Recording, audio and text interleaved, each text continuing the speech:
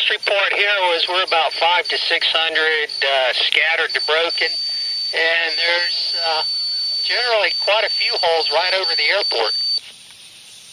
And you're landing uh, 2-1 today? Affirmative, the wind's out of the uh, south-southwest at about 5 to 7. Yeah, okay. We're, uh, we're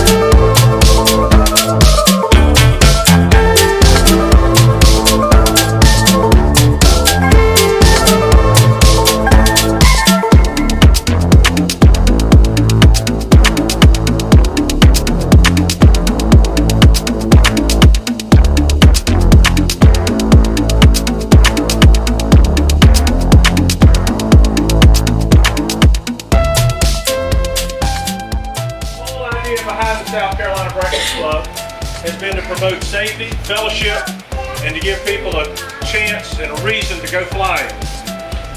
The benefits we have of that is the more you fly, the more often you come, the safer you stay. You always stay current. It gives you a chance to get to know your state. So navigation and finding your way around becomes a much easier task. You don't have to depend on your GPSs. They're good exercises and good follow-ups, but you get to the point where you know where you are just by looking around and seeing what ground reference points you see.